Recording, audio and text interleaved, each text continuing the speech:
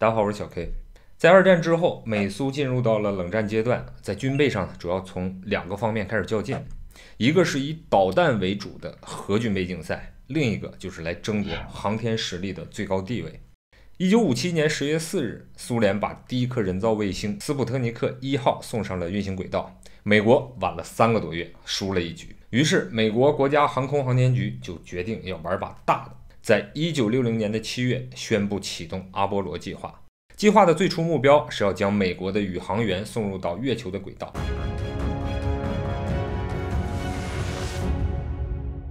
一九六零年十一月，肯尼迪当选为美国的第三十五任总统。早在竞选的时候，他就向选民放话说：“如果我当选，我就一定让美国在太空探索和导弹防御上全面的碾压苏联。”但是当选之后的肯尼迪对当时美国的航天发展状况并没有多少了解。当时航空航天局的局长詹姆斯·韦伯又经常的去找他苦穷，要求 NASA 年度的财政预算再增加百分之三十。这时候肯尼迪才发现太空项目实在是太烧钱啊，就告诉 NASA，先从基础做起，加快大型推进器的研发工作。那其他的重大项目就先缓一缓。五个月之后，一九六一年四月十二日，尤里·加加林乘坐东方一号飞船升空，成了人类第一个太空人。这个消息犹如晴天霹雳，让全美从上到下都受到了巨大的刺激，更让肯尼迪想起了当时自己对选民的豪言壮语，侮辱性极强的打脸来得这么快，简直就是如芒刺背，如坐针毡。就在一九六一年五月二十五日，向全世界郑重宣布，将阿波罗计划的目标进行重大调整，把宇航员送入月球轨道直接改成在七十年代之前让美国人站在月球上。消息一出，全世界都十分震惊。那最震惊的就是美国国家航空航天局。当时的 NASA 从高层领导到研究人员、专家，没有人知道用什么样的技术，用多大的运载火箭来把人送上去，也更没有人知道如何进行月球的软着陆，并且还要把人给带回来。但是从那一刻起，美国就举全国之力开始筹划登月计划。一九六六年，美国宇航局将第一颗多级火箭土星一号升级成了更强大的土星一 B。位于火箭顶部的载人太空舱编号是 CM 零幺二，也就是阿波罗一号。NASA 将计划的发射日期定在了一九六七年的二月二十一日。参与这次航天任务的一共有三名航天员：指令长维吉尔·格里森、高级驾驶员爱德华·怀特以及三十一岁的新人驾驶员罗杰·扎菲。如果这次发射任务成功，罗杰·扎菲将会成为有史以来进入太空中最年轻的美国人。一九六七年一月二十七日下午一点，三名宇航员受命将进行一次航天器和火箭之间的机差借用测试，为正式起飞进行舱内演习。宇航员们一进到太空舱里，先是闻到了氧气罐当中散发出了一股恶臭的味道，紧接着高氧气流量的警报就响了起来，通讯系统也出现了问题。逐个排查解决之后。各队员又躺卧在他们的座椅上，继续来完成他们将要在太空中进行的项目清单。下午六点三十一分，测试指挥准备开始倒计时。就在这时，舱里全长五十多公里的线路当中，某一处因为磨损产生了一个极其微小的火花，随后瞬间点燃了旁边的电线。原来，为了最大限度地减轻重量，阿波罗一号只有六立方米的太空舱空间里。采用了百分之百纯氧的单气体环境。我们知道，氧气虽然不可燃，但是它的助燃性很强啊。只要有可燃物，微小的火花瞬间就会化身成爆裂的火焰。比如铝条就会在纯氧当中可以像木头一样燃烧。源源不断的纯氧让大火在狭小的太空舱里肆意妄为。此时，地面的通讯只听到了一句恐怖的呼叫声：“驾驶舱内着火了。”随即，通讯就在一声痛楚的惨叫声中结束。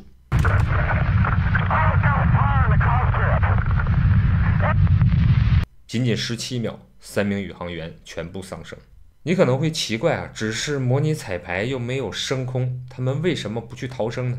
阿波罗一号太空舱啊是两件式舱盖的设计，内舱盖是按照国际设计的标准向内开启的。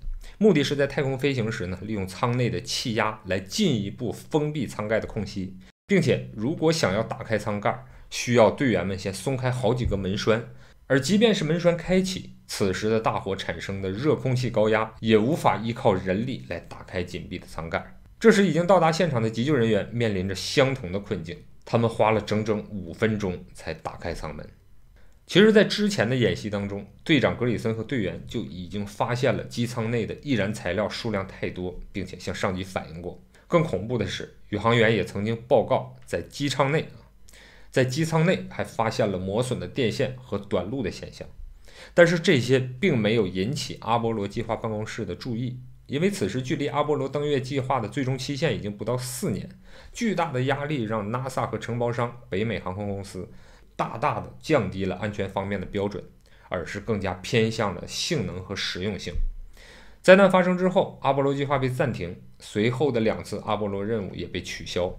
阿波罗登月的太空舱被重新设计并进行了改造。一九六九年七月十六日，土星五号超重型运载火箭载着阿波罗十一号飞船从肯尼迪航天中心点火升空，跨过了三十八万公里的征程，承载着全人类的梦想。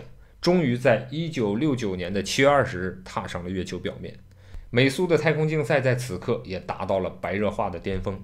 不过，直到今天，美国登月造假的阴谋论依然存在。那真相到底是什么？想要了解具体情况的同学，可以在这一期来找到答案。阿波罗计划的成功实施，也把巨大的压力又推回到了苏联人的身上。但是，苏联一想，耗费全国之力开展登月计划，即便是真的成功了，那也是步美国的后尘。费力费钱不讨好，依然是个 loser。于是又决定还是要发挥自己的强项，依然在地球的周围下功夫，研发空间站。一九七一年四月十九日，空间站礼炮一号被成功的送进了近地轨道。为了赶在美国人前面建立首个太空基地，三天之后，改进型的联盟十号载人飞船就搭载着三位宇航员飞向了世界上第一个空间站。四月二十三日，联盟十号飞船接近了礼炮一号，但是在对接时却出现了意外。飞船与礼炮一号之间有九厘米的间距，总是无法闭合。宇航员们尝试手动打开舱门，也没有成功。这次对接以失败告终。六个小时后，联盟十号返回了地球。经过改良和调制之后，一九七一年的六月六日，更先进的联盟十一号再一次飞向太空。这一次，苏联人成功了。第二天，三名宇航员就顺利地登上了礼炮一号，并开始了为期三周的太空生活实验任务。代表人类首次进入空间基地，这让苏联在太空竞赛当中终于扳回一局。太空任务成功结束之后呢，联盟十一号在六月二十九日启动了返回程序。六月三十日凌晨时分，在着陆前的二十九分钟，联盟十一号高度一百六十八千米。随后，返回舱与轨道舱分离进入大气层。并以数千米每秒的速度与大气发生剧烈的摩擦，并产生出两千多度的火焰。此时的气体和返回舱表面被烧蚀的防热材料会发生电离，在返回舱周围形成一层等离子区，这会造成无线电通信极大的衰减，导致地面与飞船之间的无线电通讯中断。中断联络七分钟之后，地面终于在雷达上发现了返回舱的踪迹。最后的着陆过程与位置与预想的一样。任务控制中心欣喜若狂，附近待命的回收小组不到两分钟就冲到了联盟十一号前面，并开始敲打船体，期盼着英雄的回归。但是敲打没有得到回应，而当他们打开舱门时，惊愕的表情出现在了救援人员的脸上。三名宇航员都瘫倒在地一动不动，他们的脸上布满了看起来像是淤伤的黑斑，血液顺着他们的鼻子和耳朵流出体外。其实，宇航员们在二十分钟之前就已经死掉了。在进入大气层之前，返回舱与轨道舱之间有十二组炸药，会按照顺序来引爆，使得两者进行分离。随后，轨道舱被抛弃，返回舱进入大气层，然后着陆。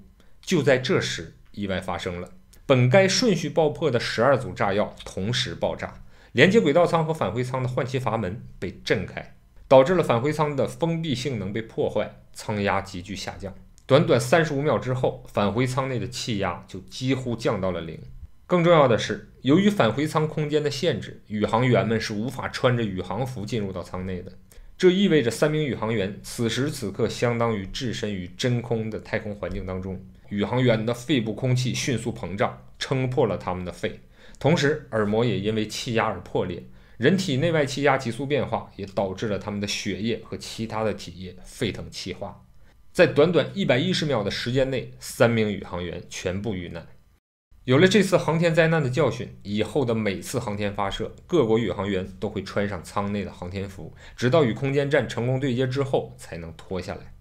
而美国这边耗资巨大的阿波罗登月计划结束之际，还沉溺在太空探索激情中的美国国家航空航天局认为需要建设一种可以重复使用的航天运载工具。一九七二年一月，美国把航天飞机空间运输系统的研发正式的列入了计划。人类进入到了航天飞机的时代。航天飞机与传统的火箭、卫星和飞船相比，具有很多的优势。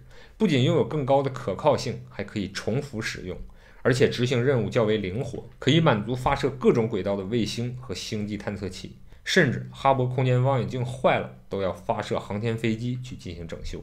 可尽管航天飞机具有很好的可靠性，但是最终还是被美国放弃使用，永久性的退役。最直接的原因就是哥伦比亚号的第二十八次飞行。一九八一年四月，人类第一架航天飞机哥伦比亚号发射升空。二十二年后，二零零三年一月十六日，他迎来了服役生涯当中第二十八次的飞行任务。和之前的二十七次一样，发射非常顺利。七名宇航员执行了为期十六天的任务，并成功的进行了大约八十项的科学和研究实验。二零零三年二月一日，到了机组人员返回家园的时候，哥伦比亚号按照计划重返大气层，在距离地面六十公里的飞行高度时，传感器记录到了航天飞机左翼承受的应力异常，但是这组数据直接被发送到了一个内部的记录器当中，机组人员和地面的控制器都没有发现，阻力增加开始导致轨道器向左偏航，但是轨道器的飞行控制系统纠正了这个问题。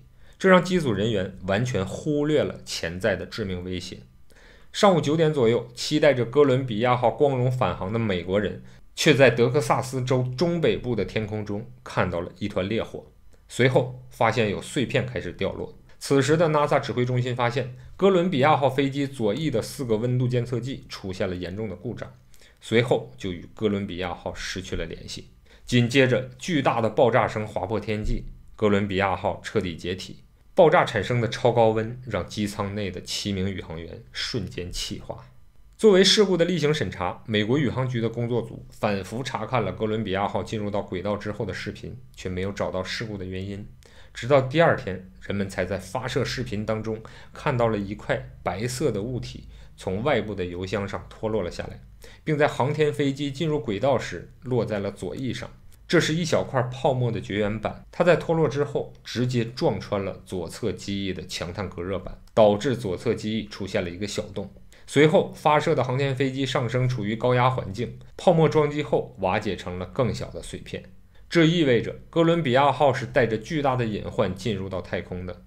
因此，在任务结束之后，返航的过程当中与大气层产生剧烈的摩擦。超过一千四百摄氏度的高温气体通过这个小洞进入到机体，不断破坏着机体的隔热板，最终在高温的环境下达到了临界点之后，哥伦比亚号整个机体全部瓦解。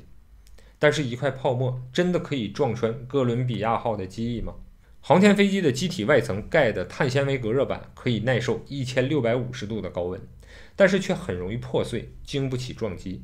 科学家通过模拟测试的结果显示。一块一点六克的泡沫在高速运动之下，就可以将哥伦比亚号的隔热板撞出一个二十五厘米宽的大洞。从此以后，航天飞机的发射暂停了两年多，并在所有航天飞机上都安装了一个机械臂，用来检查是否有外部的损坏。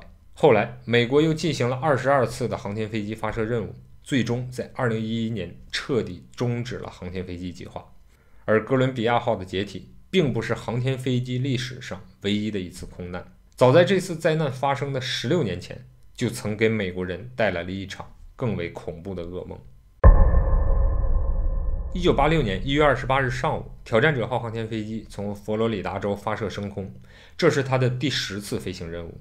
航天飞机有一个很大的特点，就是在上升段和载入段的过载比较小。这意味着，即便是没有经过严格空间飞行训练的普通人，也可以参加空间活动。这个特点赋予了本次飞行任务一个非常特殊的意义。在七名机组人员当中，有一位女教师，叫做克里斯塔·麦考利夫，她将成为首位进入太空的普通美国人。麦考利夫还计划将在太空中为学生们直播讲课。在发射现场数百人和电视机前百万民众的瞩目下，在克里斯塔的家人和学生们的自豪和期待当中，挑战者号第十次点火升空。但没人注意到的是，右侧的固体火箭推进器冒出了一股黑烟。这意味着连接固体火箭推进器的 O 型密封圈失效了，最终导致了灾难性的故障。七十三秒之后，价值十二亿美元的挑战者号在空中发生了爆炸，无人生还。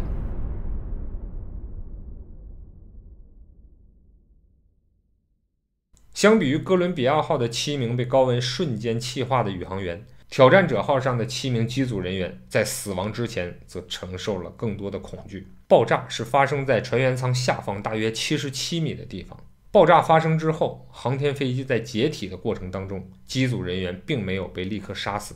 同时，由于船员舱的足够坚固，整体并没有受到损坏。但是，最终船员舱以大约三百三十四千米的时速猛烈地撞击在了海面，导致了超过二百 G 的瞬间减速。这远远超过了船员舱的结构承受极限，也超过了人员的存活极限。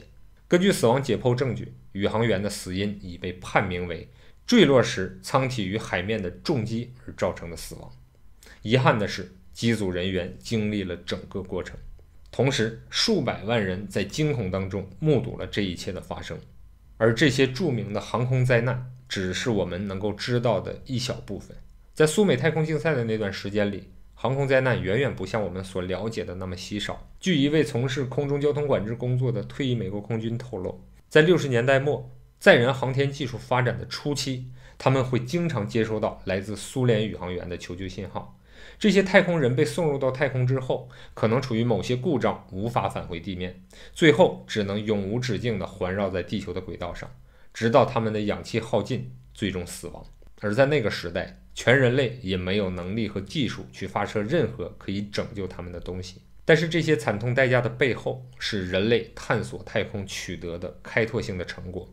二十世纪六十年代，美苏在太空竞赛当中，为了拿到头彩，无形当中也加速了载人航天计划的实施和定制，对整个人类的航天技术和发展都有着巨大的正面意义。所以，无论是哪个国家，这些宇航员们。都是值得我们尊重的英雄。好，我们今天就聊到这儿。我是小 K，下期再见。